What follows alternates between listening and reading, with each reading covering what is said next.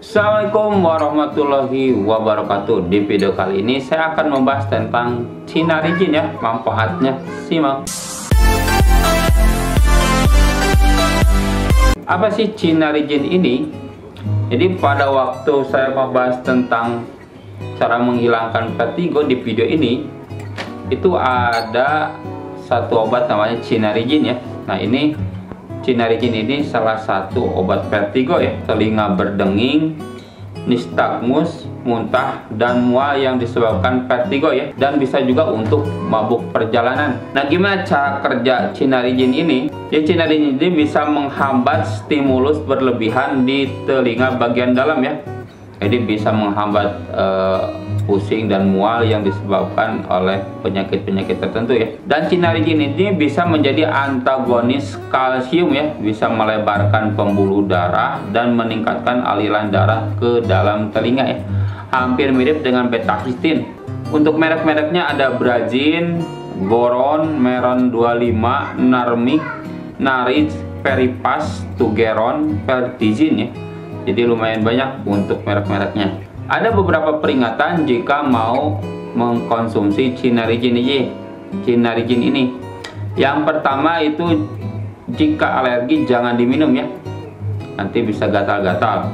Yang kedua, jangan diminum juga jika e, menderita porfiria, penyakit liver, penyakit Parkinson, penyakit ginjal, pem, ada pembesaran prostat jinak, sulit buang air kecil, glukoma, epilepsi, kejang ataupun obstruksi ot khusus ya. Itu jangan diminum cinarijin ini. Yang ketiga jangan diminum jika mau tes alergi ya. Minimal 4 hari setelah minum cinarijin baru bisa tes alergi. Yang keempat jangan diminum juga jika kondisinya lagi hamil menyusui ataupun mau merencanakan kehamilan. Yang kelima, jangan minum alkohol saat minum cinarijin ini. Yang keenam, jangan berkendara jika sudah minum cinarijin ini karena cinarijin ini bisa menyebabkan kantuk dan pusing ya. Yang ketujuh, konsultasi dulu ke dokter jika mau untuk anak-anak ya. Karena bisa menimbulkan efek samping yang kedelapan, beritahu dokter jika lagi minum obat-obatan lain ya atau suplemen ataupun herbal. Takutnya ada interaksi obat seperti kalau minumnya bersamaan dengan golongan obat barbiturat, golongan obat analgesik opioid, golongan obat antipsikotik, golongan obat antisietas atau golongan obat antidepresan trisiklik itu bisa meningkatkan efek samping kantuk ya.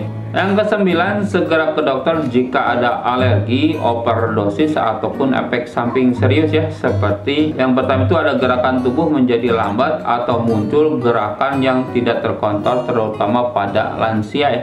Yang kedua ada kaku otot, kedutan atau gemetar atau tremor ya. Itu harus ke dokter. Yang ketiga ada gangguan hati, biasanya seperti penyakit kuning, dan kalau uh, buang air kecil itu si urinnya warnanya gelap ya. Yang keempat timbul nyeri sendi ada ruam kemerahan pada area tubuh yang kena matahari ya seperti lengan, pipi, hidung itu juga termasuk efek yang serius ya ataupun ada efek-efek yang biasa tapi e, tidak reda-reda ya atau malah tambah parah seperti kantuk pada siang hari, mual muntah, berat badan bertambah, sakit kepala, nyeri ulu hati, mulut kering ataupun kelelahan. Nah, gimana dosis Cina rigid ini ini nanti sesuai dengan keluhannya ya. Yang pertama jika untuk mengatasi gangguan telinga dalam seperti pusing, vertigo, tinnitus, nystagmus, mual ataupun muntah itu untuk dewasa atau anak-anak usia di atas 12 tahun dosisnya itu 75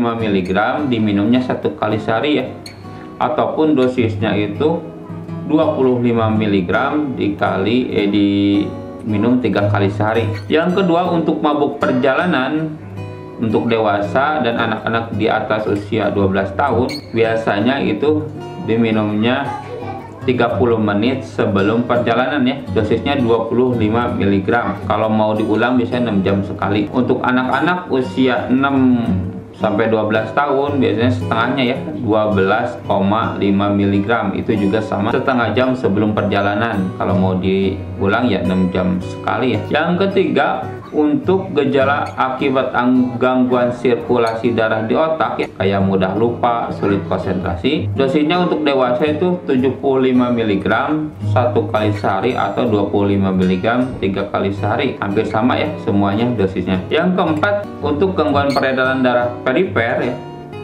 Untuk dewasa 50 sampai 75 mg diminumnya 2 sampai 3 kali sehari maksimal pemberian obatnya 225 mg per hari. Nah, gimana cara minumnya yang benar ya? Cara konsumsinya yang pertama itu ikuti anjuran dokter atau baca informasi di kemasan obat ya. Yang kedua, jangan menambah atau mengurangi dosis tanpa konsultasi ke dokter. Yang ketiga, dapat dikonsumsi bersama makanan atau segera dikonsumsi setelah makan itu bisa ya. Yang keempat tablet ini juga bisa diisap bisa dikunyah langsung bisa ataupun ditelan langsung juga bisa. Yang kelima usahakan mengkonsumsinya di waktu jam yang sama ya. Misalnya hari ini jam 7 ya besoknya juga jam 7 jadi biar uh, teratur ya. Yang keenam jika lupa uh, konsumsi obatnya pas, pas saat jadwal misalnya jam 7 nah lupa sampai jam 9 itu langsung aja minum ya tapi jika misalnya mendekati misalnya e, mau ke biasanya 6 jam ya 7 tambah 6 jam 1 dari jam satuan. Nah jam 1 misalnya e, lupanya itu jam 11 ya udah itu mah diabaikan saja ya. Minum aja yang jam 1 tapi jangan digandain dosisnya ya. Yang ketujuh simpan di suhu ruangan yang terlindung dari sinar matahari langsung dan dari jangkauan anak-anak ya. Mungkin sekian yang bisa saya sampaikan tentang manfaat sinar jin ini. Semoga bermanfaat. Jangan lupa subscribe, like, komen, dan share. Terima kasih. Assalamualaikum warahmatullahi wabarakatuh.